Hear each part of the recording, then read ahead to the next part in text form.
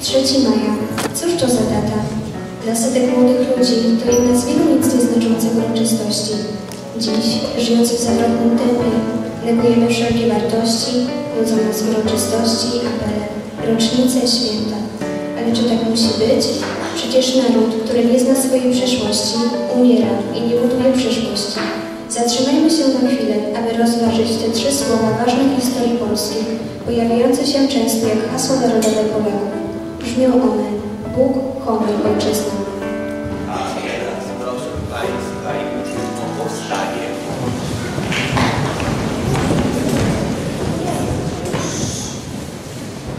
Szkoła, baczność, poczet sztandarowy, wystąpi. Do hymnu państwowego.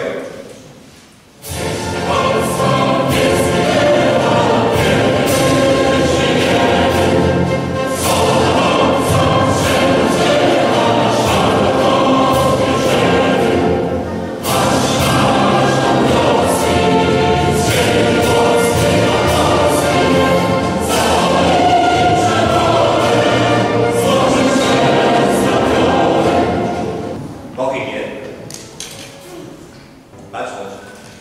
Poczet sztandarowy stąd.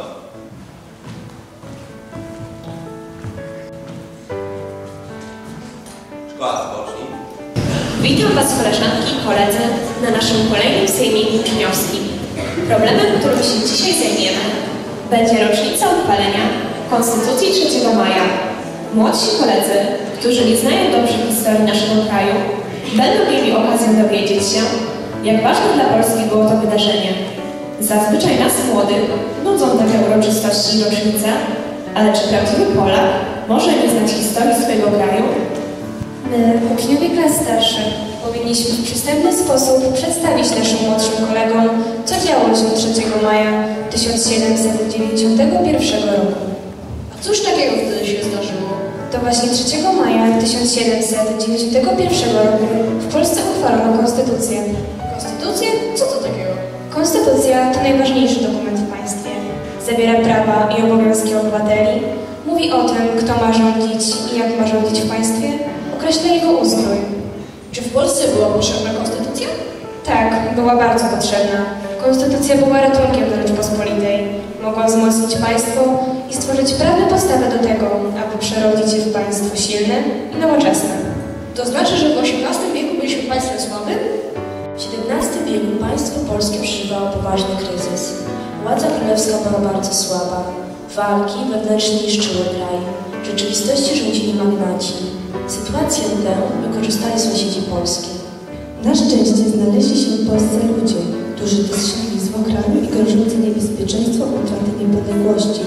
Byli to Hugo Kołłątaj, Stanisław Staszic, Ignacy Potocki, Stanisław Małchowski oraz wielu innych. To między innymi oni byli twórcami konstytucji, która przeszła do historii pod nazwą Konstytucja 3 maja. Więc gdy oto zajaśniał blask promienny majowy, niechaj wszystkie czczą serca ten dzień wielki godowy. Niechaj okrzyk narodu w świat daleko poleci, wolność, równość niech żyją, niechaj żyje maj trzeci. Dzień radości, dzień wesela, jak szeroki 23 maj. Naród z królem, król z narodem, odrodzenia ziści i. W upojeniu, ludem młodem, niech wam dzień rozbłyska ten. Górę serca, starzy młodzi, wiwat, wiwat 3 maj.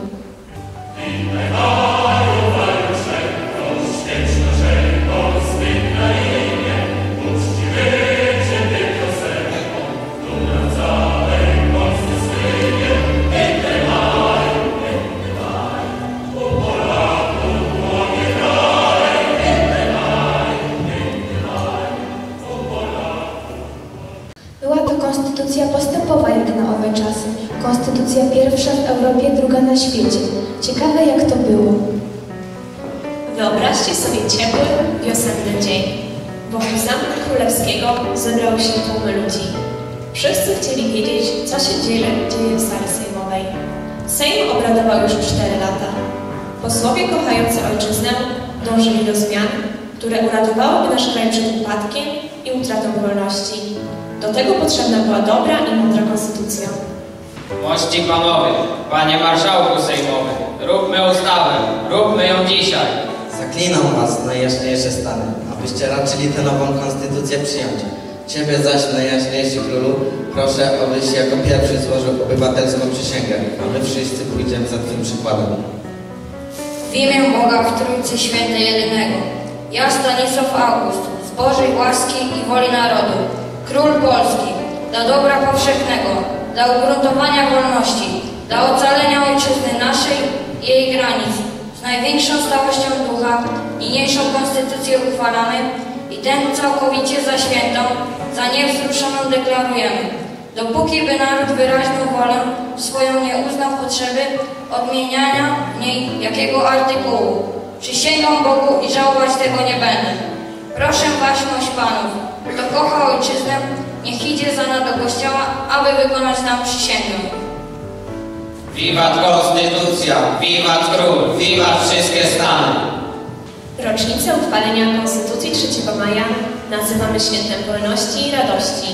Już nasi przodkowie rozumieli, co znaczy wolność, naród, ojczyzna. A czym dla Was są te pojęcia? Zastanówcie się. Wolność to możliwość podejmowania decyzji zgodnie z własną wolą. To swoboda, niezależność. Wolnym jest ten, kto żyje w wolnym kraju. Wolność to wśród mądrych ludzi żyć, widzieć dobro w oczach ich i szczęście. Naród to my Polacy, żyjący teraz. Naród to nasi przodkowie, walczący o wolną Polskę. Naród to twórcy Konstytucji 3 maja. Ojczyzna moja ta ziemia droga, gdzie słońce, gdzie poznał Boga. Pytasz się, gdzie jest i jaka, w niewypierzonej krainie leży. Jest w każdym biednym sercu Polaka, co o nią walczył, cierpiał i wierzył.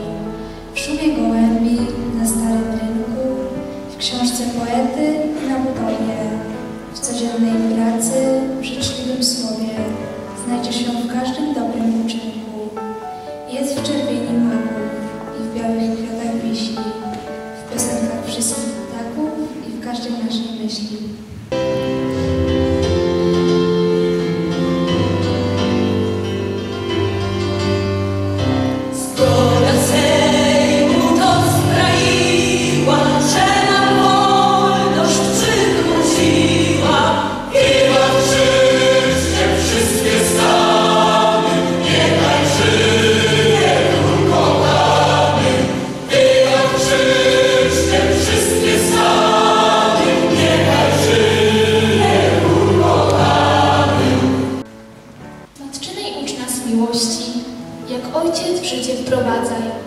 Nie żałuj serdecznej troski, za trudy szczodrze nagradzaj. Bez tej miłości można żyć, mieć serce suche jak orzeszek, malutki los naparstkiem pić, z dala od zgryzot i pocieszeń. Na własną miarę znać nadzieję, w mroku kryjówkę sobie uwić. O blasku próchna mówić dnieje, o blasku słońca nic nie mówić. Ziemia ojczysta, ziemia jasna, nie będę powalonym drzewem. Codziennie mocniej w Ciebie wrastam, radością, smutkiem, dumą, gniewem. Nie będę jak zerwana nić, odrzucam pusto brzmiące słowa. Można nie kochać Cię i żyć, ale nie można owocować.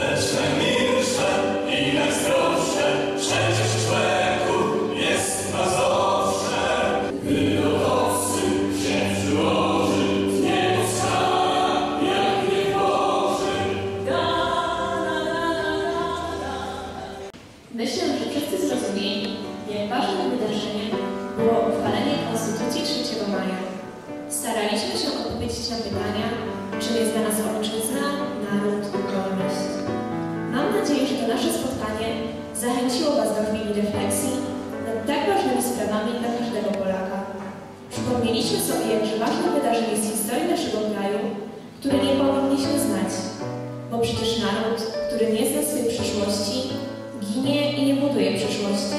Pamiętajcie o tym. Dziękujemy wszystkim za przybycie. Sejmik Uczniowski poświęcony rocznicy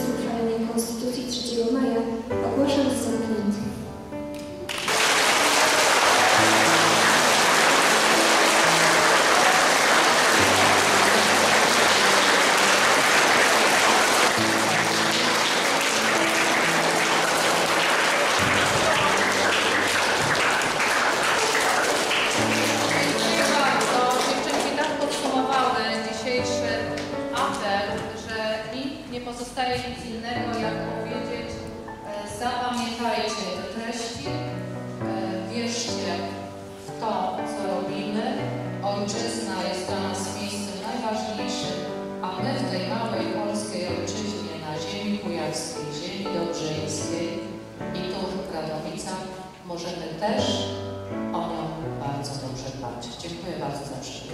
Kłaniam się